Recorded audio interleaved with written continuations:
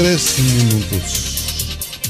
Se buscan policías. ¿Qué tenemos? Eh, Cuando usted Consuelo. me permita. Hay Adelante. otro punto que yo quisiera. Yo creo que nosotros esta tarde hemos teorizado sobre algunos puntos muy importantes, tanto en el sector empresarial como esta parte que, que Luis José y todos ustedes, lo- ustedes que son hombres, y aunque parezca mentira, lo estoy diciendo así, conocen más que uno de cómo se manejan los barrios y los liderazgos en los barrios. Sí, yo- tengo una relación muy directa ¿Verdad? con- Exacto. Y eso es Ángel así. no tanto, Ángel más. No, no, yo No, no. Ángel sí.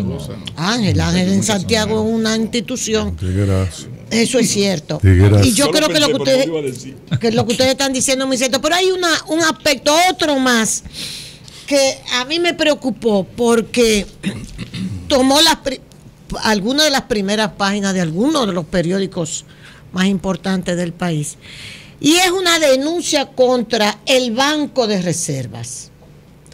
Aparentemente es una denuncia contra el Banco de Reservas, pero en realidad No es contra el banco. no es contra el Banco de Reservas, es contra las plantas de la Catalina.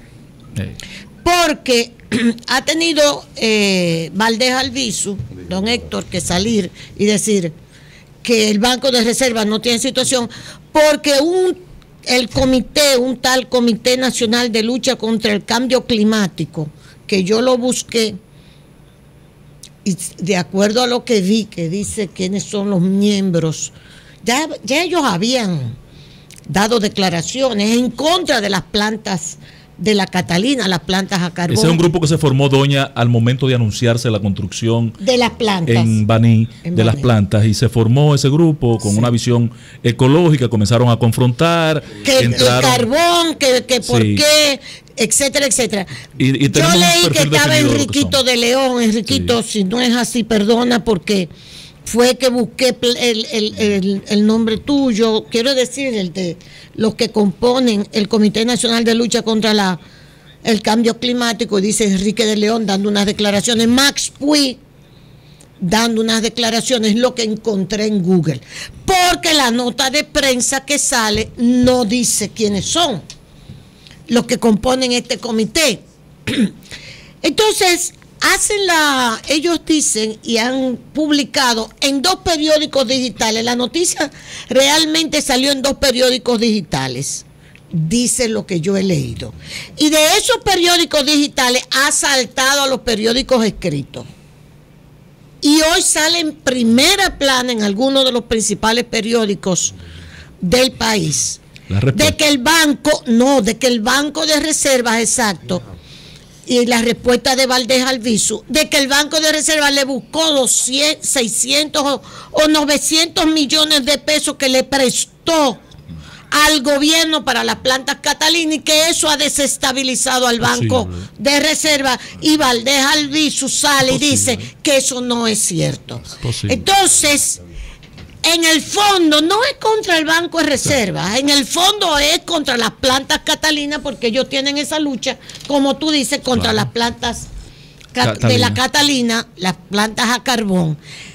Por lo cual, como los otros días decía Cristian, por ahí viene otra campaña contra la Junta Central Electoral, contra Roberto Rosario, porque ya comenzó participación ciudadana a volver a sacar el expediente de que cuánto costaron los escáneres y que si los escáneres funcionaban. Y Cristian decía, y explicó todo el proceso de licitación de la compra de esos escáneres. Los veedores que donde estaba Cristian y un sinnúmero de personas muy honorables que tuvieron a, ver, a bien llevar todo el proceso de licitación de los escáneres y por eso parece ser que se han callado, porque parece que es como Cristian decía, que volvía otra campaña en contra de Roberto Rosario. Ahora vuelve y sigue la campaña en contra de las plantas catalinas. Y ahora cogen al Banco de Reserva y lo mezclan. Algo muy peligroso, porque estamos hablando del sector financiero. Que con de un algo rumor- muy delicado, que con un rumor. Claro, Entonces yo digo, eso es penado por yo digo que eso tiene que profundizarse más. Hacerse responsable lo que están dando esta información que Héctor Valdés negó, porque los tres cheles que yo tengo están en el Banco de Reserva.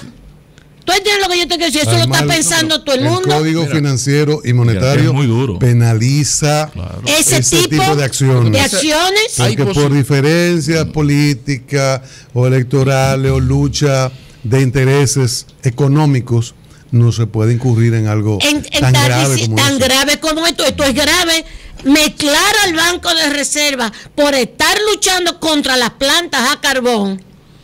Oye, ya la cosa está pasando de castaño a oscuro. Porque una cosa es que tú no estés de acuerdo y no aceptes los argumentos que se han dado 200 veces Así de por qué las plantas a carbón, el cambio de matriz, la diversificación de la matriz energética. Tú no estás de acuerdo, tú movilizas a tu gente, si las tienes, haces una marcha, eh, una nota de prensa, buscas una noticia en contra de la energía a carbón y la difundes. Toda esta lucha mediática es parte del juego democrático.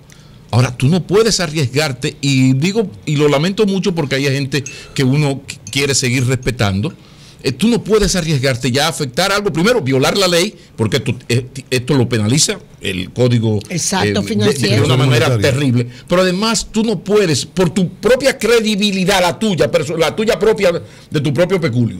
Sí. O sea, tú no puedes arriesgarte a decir una barra basada Sí. que 10 horas después, nada más y nada menos que el gobernador del Banco Central, con los datos en la mano, señores, el Banco de Reservas, y eso no es que lo dice don Héctor Valdés Alviso, Claro, eso es está. porque están los documentos Los- para demostrar. los estados están no ahí ha tenido problemas de encaje legal en los menos por últimos 900 30 millones, años. Ahora, ¿qué 900 pasa? Eh, eh, gracias, pero también, ¿qué ocurre? Oye, hay que Sí, ser pero ahí viene el poder de dañar de la comunicación coprológica que yo llamo. Sí. Sí, de la comunicación irresponsable. Es ¿Por qué?